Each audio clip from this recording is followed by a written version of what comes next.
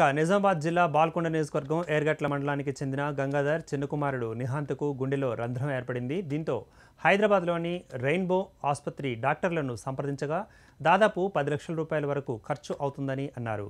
Gulf వెళ్ళి corona సమయంలో ఇంటికి రావడం జరిగిందని ప్రస్తుతం ఆటో నడుపుకుంటూ జీవనం కొనసాగిస్తున్నామని నిహాంత్ తండ్రి అన్నారు. మాస్టర్ కీ టీవీని సంప్రదించి ఎవరైనా దాతలు ఉంటే ఆదుకోవాలని వేడుకుంటున్నారు.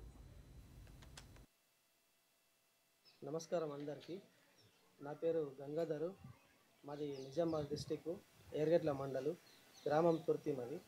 అయితే నేను ఒక ఆటో డ్రైవర్ను ఆటో నడిపించుకున్నాను నాకు ముగ్గురు పిల్లలు ఉంటారు. ముగ్గురు పిల్లలలో మా చిన్న కుమారుడికి హార్ట్ ప్రాబ్లం ఉంది. హార్ట్లో హోల్ ఉందని చెప్పేసి డాక్టర్లు సూచించారు. డాక్టర్లు చెప్పిన ప్రకారం హైదరాబాద్ తీసుకెళ్తే ట్రీట్మెంట్ జరుగుతుందని చెప్తే తీసుకెళ్ళాము. అక్కడ తీసుకుపోయిన డాక్టర్లు కూడా చూసి చెప్పారు ఏంటంటే ఆపరేషన్ తప్పకుండా చేయాలి. ఆ ఆపరేషన్కు సంబంధించిన డబ్బులు ఒక ఎనిమిది నుంచి పది లక్షల దాకా ఖర్చు అవుతాయని చెప్పారు దాంతో డబ్బులు లేని పరిస్థితులలో మేము ఎవరైనా దాతలు కానీ అధికారులు కానీ గవర్నమెంట్కి సంబంధించిన అధికారులు కానీ ఎవరైనా ఉంటే మమ్మల్ని ఆదుకునాలని మా బాబుకు ఆపరేషన్కి సంబంధించిన డబ్బులు పంపించే ఏదో విధంగా చేసి ఆపరేషన్ చేయించి మా బాబుని కాపాడాలని